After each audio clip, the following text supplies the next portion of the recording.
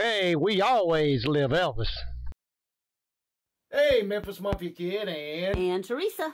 hey, y'all. Hoping everybody is having a uh, uh, great start to the week. For Uh, Monday. Monday. Uh, I hope everybody had a good weekend. Uh, not gonna make excuses. Was late on yesterday's video, but here we go with it now. Uh, before we get started, I want to uh, quick birthday shout out to Dennis Brayboy and Sonia Ritchie. Happy birthday. Happy birthday! And also, we got a special. We have a special little shout out for Gilly, who likes to watch our videos, and she is a nine year old spider monkey. Isn't Hi, that- Gilly. Isn't that cool? so, Gilly, we love you. Yeah. And remember, Gilly, we always live Elvis. Okay, first question. What was how, your how- how'd you know he's going to just start? osmosis? Okay. Okay. you who know that is. What was your favorite holiday at Graceland? Without a doubt, Christmas. Mhm. Uh, let me say, though, I mean, every day uh, was somewhat like a holiday at Graceland or just like Paradise Amusement Park, just all You got what you wanted. all of it rolled into one. But uh, as far as actual holiday, holiday, just the the the theme and to know it was coming and our routine, we was going to be out at Graceland and just, uh, you know, it was just it was beautiful. It was a special time and.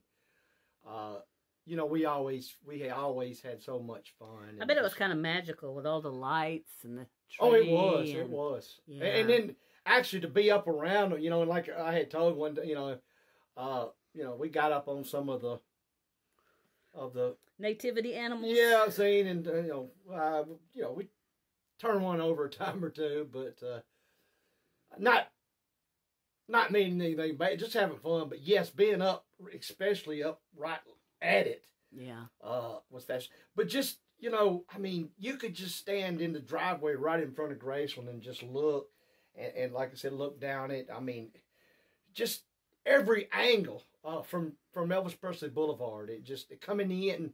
Uh, you know, if we'd been somewhere and coming in the gates and coming up the driveway, it was just uh, Did y'all like play hide and seek at night when the lights were on? it, it was like magical. Yeah, I mean, we we played hide and seek. We you know we did all kinds of stuff. I mean, I just mean at Christmas time, you know, the lights are lit up outside and Oh sure, hide and seek sure. around the lights. You know, most uh, most Christmas was just you know it was more kids. You know, a lot of the uh, you know uh, Memphis Mafia guys' kids, and uh, you know during that time, at one time or another, you know everybody would be up. Now you know some went home later, and it just ended up being man, I bet y'all were hyped up on sugar like crazy. we was hyped up on sugar, and uh, you know there's a time or two we got into the Mm-hmm. grown up punch and was hyped up on that. Grown up. But it was magical. Yeah. Okay, this question is I'm sorry, that last question. Hold on. Okay, never, I'll go back to it. Uh, this is from Tina Owen, 7404. Did Elvis believe in Jesus? I think without a doubt, uh, we all know that. Yes, he did. Uh, was very much into uh, the Bible. Uh, he knew it very well. Uh, studied it, read it, uh, talked it over many a time with a lot of his group, and I know many a many a time uh, conversations with with my mom and daddy. So. Uh, uh, he was, and, I- and you know, I think you can just tell by the type of person he was, and especially when when he would sing a, a gospel song. To me, it was more.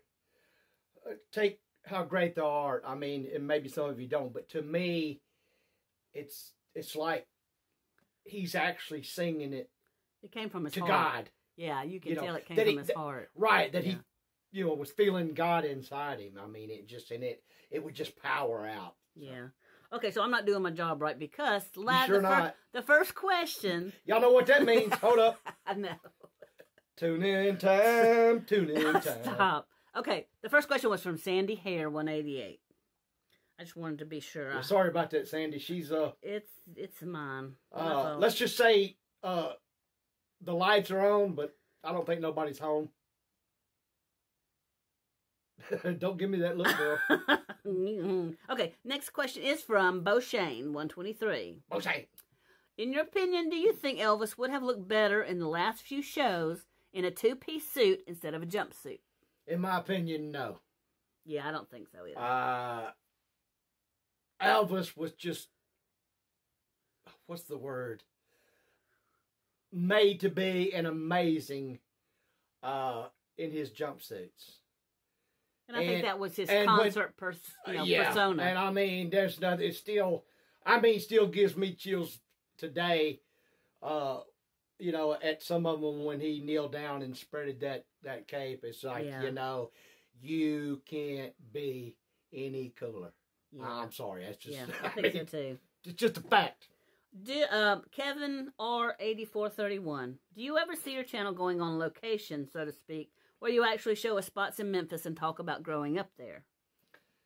We've done a, a little uh, around Graceland and plan on doing uh, doing some more. Uh, you know, I want to do one. Uh, I haven't visited me or Teresa either one. Uh, you know, Lisa Marie's gravesite. Uh, I I, I want to do that. Uh, and you know, nothing, nothing's out. Just whatever hits us. But you know, if uh, you know, if there was a, a big interest in it, uh, sure, you know, we might do some, uh, uh, you know, things that, you know, that I did, you know, while living at Graceland and places that we went and things we did. Yeah. Uh, you know, nothing's out of the question. Hey, you know what? Y'all send us some comments of, of, of some stuff you might like to see on the video. Yeah. Mary D, 8793. What would Elvis have done if you would have woken him? He wouldn't have been happy. Uh, we never did because we knew better. But I, but I, I, I see where the question is coming from. Uh, if it would have happened, he wouldn't have been happy. But I mean, he might have, you know, said a few things, possibly.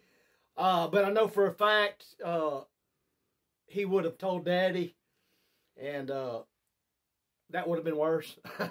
Yeah, you would have got Uh, talking to. So, like I said, let's just thank thank goodness that never happened. We we knew better, but uh, yeah, I mean, on things like that, he you know he wasn't real happy. I you know I, I told a story one time about you know Lisa waking him up uh, over uh, uh, uh, golf carts, and uh, woo, he was not happy. Uh, so uh, you know, thank goodness it's her because she could get away with pretty much everything.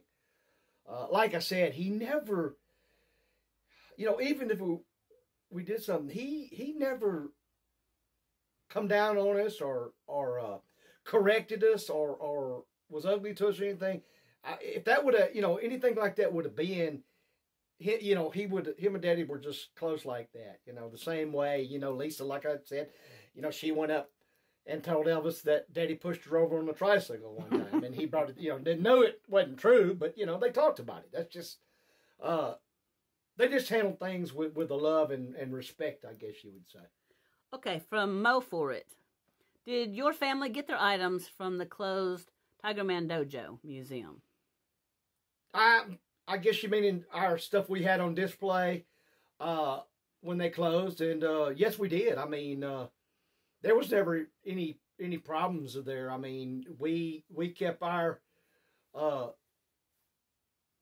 part of the bargain, Mm-hmm. I guess you could say, uh, Mhm. up, and and and uh, you know the dojo kept theirs up. I mean that Yep. uh, you know never had any problem. Just you know when I was ready to get uh, my stuff, I got it, and I know I think mom and daddy's uh, uh, stayed up there a little longer, when they got ready, but no, there was never ever uh, any problems with uh, with any of that whatsoever. Okay, Michelle Gillen. Can you make a Q&A video with the pugs? Wow. Well, wait a minute, hold up. She don't know what craziness she's asking for. What's wrong with MMK and Teresa? I mean, I do. I don't know that they would have much look, to say. Look, look in the camera. I, I've been told, you know, that I do. I have puppy dog eyes. Yes, you do. So, but You're uh, pugly. no, uh, sure, we'll uh, we'll have me in. Uh, you know, They're so crazy. Teresa does cute little shorts and I stuff. need to do some and, more. uh, I haven't. you know, to try to get them on there for y'all. So we'll we'll uh Yeah. We'll see what we can't work up. But yeah, appreciate That's great. shorts and stuff of them. They they they don't cooperate very well. They're very. Mm. Okay, next. Uh, they're wild childs. They are and spoiled. Uh, okay, Michelle. I, I, and I usually I don't know, Teresa. You can tell me if you can see it. Uh, They get wild like the other night when I was on the couch. Can you see? The, wait, Teresa? come up just a little bit. Come up. There it is. Come up a little more. Come up. No, you're going the wrong. You're going down, Up. not up. Yeah, down, up. up like this. No, put your head down and lift your back up a little bit. Oh, never mind. I don't know. I saw it for a second. Okay. Anyway, uh, Layla, the female, uh, she was sleeping with me on the couch, dozing, watching TV, and uh, she got a little wild spell and went right across my head and just give her a good old tearing. So, just a poor, pitiful me. Mm. and I did what I usually do. I It is cussed, poor, pitiful. I cussed me. for a minute, and then she looked at me with those sad eyes, and she got her way. Yeah, she always does. Now you're going to be. Yo, hold up. Before we go any further, though, there's something on my mind I got to ask. Gentlemen, this is for y'all. Uh, and it, it just, it really just aggravates the hell out of me. But y'all tell me how many y'all uh, happens with y'all's girlfriends or your wives or whatever. But Teresa, we get ready to go. She'll come in and say, How does this look? And I'll say, Man, that looks, you know, that looks good. I like that. It looks good. I'll brush my teeth or, or fix something to drink. She comes back through with something different on. And I said, What? You didn't like that? Oh, well, I just thought I'd change. It was hot. Uh, I needed something cooler to wear. I don't know if it's just her or something else wrong with her or what, but four or five times, Three. but three, okay, yeah. It they was always, only you know, three. They're, they're 10 times as three. The first one was too hot. The second one was too tight, Okay. and the third one was just right. I mean, help me out, guys. I mean, I throw a shirt on. That's what the heck I'm wearing. Uh, but what my point is is why in the hell even come in and asking me what I think or how it looks or do you like it or whatever when you're not gonna listen to nothing I say, take it I'll put something else on. But it's sad that I have to ask you how it looks. You know, you should already know- say, "Hey, that looks great." I, well, if I do that, you're still gonna go change it. Okay, we've done that before. okay. And Michelle also had a question from me. She said that I mentioned that I like Duran Duran and had I attended one of their concerts. I did in the mid '80s, and it was awesome. I didn't have good seats, but it was still awesome to be there. Yes. Okay. Phil Cox, thirty-six seventy-one. Did Elvis ever have the Memphis Mafia guys do yard work around, and did they take care of the grounds?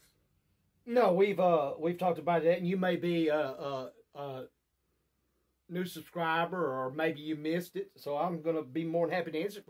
No, uh, Elvis had a group that took care of the grounds and and uh, vehicles and just all all the stuff like that around, and and uh, that was uh, Uncle Earl Pritchett, uh, Mike McGregor, uh, an older gentleman named Albert that actually come from the ranch. Uh, and there toward the end uh, for a couple years, uh, Tommy Henley uh, helped out, which was Tish Henley's husband at the time.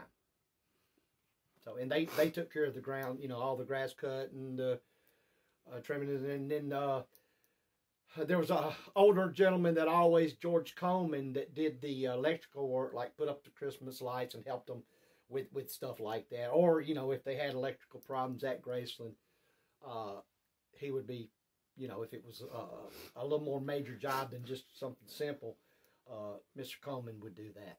All right, next question is from Jennifer B, 8685. She wants to know Do you ever think about writing a book about your childhood memories with Lisa and living at Graceland? I've thought about it many a times, uh, but like we said, this I won't say it's out of the question, but it's it's uh it's just so much in it, and then too with the author, if you don't get the right one, it it you know they can change it up a little bit. And I'm gonna be honest, when when Teresa come up with this, uh, doing these YouTube videos, uh, once I started doing, 'em, I fell in love with them. I mean, uh, you know, it's all on me or all on us. But I'm not going to say nothing that I don't mean, and I know nobody's going to add nothing, nobody's going to take nothing, uh, because Teresa does all the the filming and and you know the editing, and she does very little having to edit anything out because You're perfect. uh, no, but I mean keep on being smart. I'm the closest thing you'll ever get to perfect. But, Oh man, Mm, uh, I feel sorry that- for but myself. I didn't say that. I, what I was saying before I was rudely interrupted was uh, I I forgot now what I said. Whoa, boy, you just Well, that's something that I did learn being a part of the Smith family is you have to interrupt if you're going to talk. That's how it works. You get a second to slip something in, you slip it in while you can. point being, uh, I love the videos, Yes, and and and so far from the response we've got uh, and the support from y'all, uh, I guess y'all like them too, and and uh, we appreciate that. But I, I to say, you know, that never do a book. No, I'm not going to say that, but uh, I, I'm still having fun and uh, enjoying doing these videos for y'all. And as long as I can do that, uh, I'm going to continue doing that. Yeah. All right, last question is from MG Cole 5586. Do you really need a cane or is it just a prop? You do need it to keep your hands busy. So, because if he didn't have the cane, he'd be wringing his hands. I don't know if those who've watched from the beginning remember those days where he'd have to rub his hands or a finger or something. So that keeps his hands busy. Was that question to you or to me? Well, it just said, do you Or to us. need?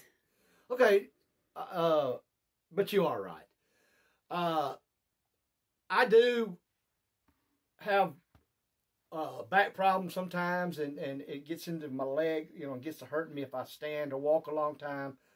Uh, but not all the time. I mean, I don't have to have it, uh, but I'll use it during those times to try to take a little pressure off. Uh, the other times, uh, it, it's like I said, I guess you could say a, a, a proper word. I, I think they're cool. Uh, I love them. I like to collect them. Uh, and uh, I always have, like I said, like I've stated. When I seen Elvis with his, and then later on, Evel Knievel, I thought that was the, the coolest thing is is a cane. You know, even uh, even had one one of my proms one time. So You know, I ordered you a cane. It should Uh, come this weekend. yeah, I'm waiting. I can't wait to see it. She did. She said she ordered me a new cane, so Yeah, I can't I wait. Hoping to show y'all here soon, uh, whenever it comes in, if she's telling the truth. But What? I always tell the truth. anyway, y'all, hey, we uh, we've enjoyed it. We have so much fun with y'all. Y'all keep those questions coming in. Yeah. Send your comments. Hit that like button, that subscribe button, and tell all your friends, Yes. your buddies, your neighbors, And your if pets, and everybody else to subscribe. and if you have subscribed, go make sure you're still subscribed because on some channels I've noticed, and in ours too, a few that people who've been subscribed are suddenly unsubscribed. They didn't do it. It's just something that's Yeah. through YouTube. So Right. check and make sure your subscription is still. Right. And Yeah. it, it doesn't cost you anything to subscribe. There's no fees or nothing. Uh, you know, it, if you want to, it helps us. But if you don't, hey, that's fine too. Uh, like I said, we love each and every one of you. We appreciate the support that you give us. And you know what? We'll see y'all next video. But remember, We, we, always always live live Elvis. Elvis.